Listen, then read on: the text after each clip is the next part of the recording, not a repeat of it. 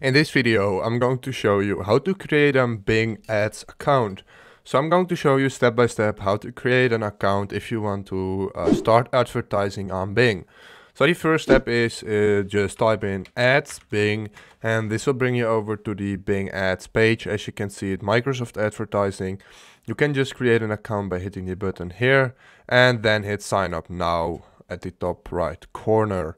And from here you can um, you can verify uh, your identity with your email. So I'm going to do that with this email. So I'm going to verify it right now. So this is my code and then you can hit verify and you can hit uh, no thanks from here for this.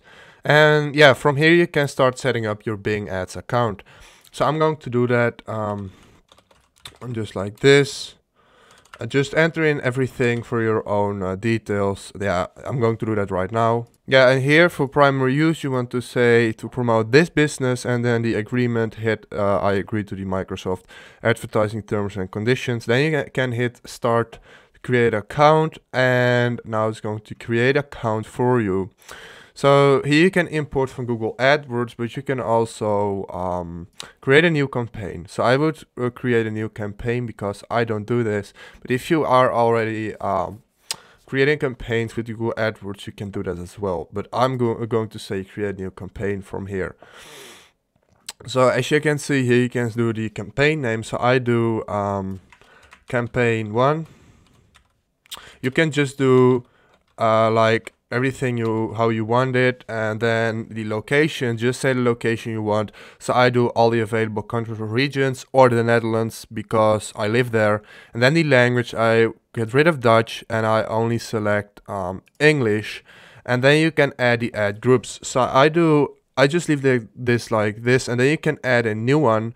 As you can see you can um, you can set the ads how you want to make it like how it looks like.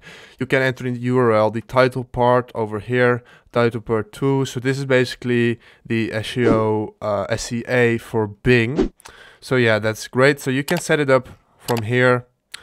Uh, yeah that's basically how that works. Here you can enter in the keyword. So if if it's about eggs you can put eggs um, um, help the eggs just just your, uh, your recipes. It already gives some suggestions as you can see like this. So that's great. And he can do the cost per click. So this really depends on what you're doing. If you're doing cpa marketing or affiliate marketing or dropshipping or just an e-commerce website you want to promote through bing ads this really depends on what you do.